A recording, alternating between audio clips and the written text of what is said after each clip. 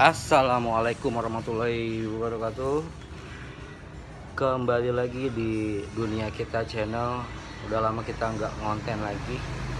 Kali ini gua mau kasih tahu uh, Yang baru mau banget usaha gado-gado Dan rujak ya. Oke gua kasih tahu dulu ya ini apa aja itemnya. Oke di sini ada ada kol yang masih fresh kangkung ini ada labu ada pare ada kentang. Cukup segini aja baru pemula ya baru pemula. Ini paling dua ikat kangkungnya ya.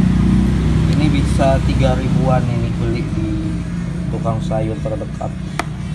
Nah untuk oh ya ini isi isiannya ya guys. Ini kita isi ya isi isiannya dulu aja. Ini ada tahu ada tempe sini ada kentang. Eh sorry sorry. Apa? Timun timun. Galau kita.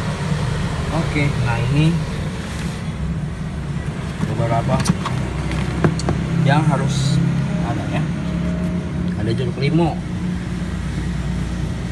Eh, sama eh, ini cabai ya. Ada cabai rawit.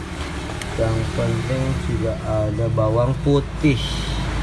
Terus sini ada apa sini ada terasi ada garam ada oh ini enggak ini nanti ya ini enggak ini buat rujak. Nah ini buat gado-gado nih guys. Oh kacangnya ya. Ini beli sekilo 35 sudah di uh, sudah digiling. Uh, gilingnya minta sama abangnya dua kali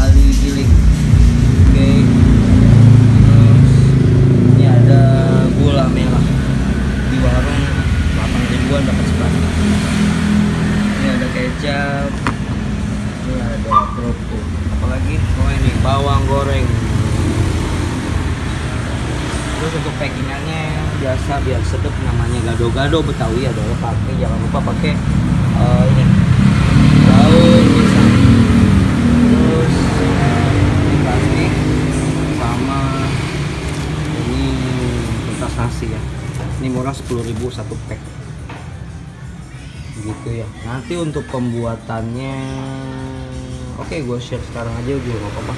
Jadi untuk pembuatan untuk satu porsi itu kita butuh bawang.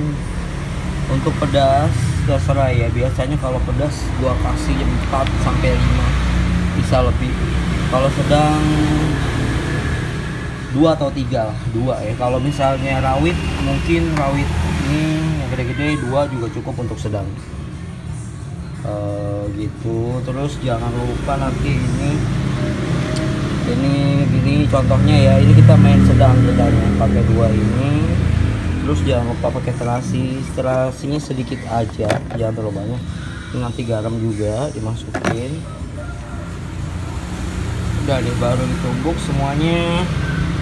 Jangan lupa sama jeruknya mungkin nanti untuk tutorial pembuatannya lengkapnya nanti ya video kedua oke okay.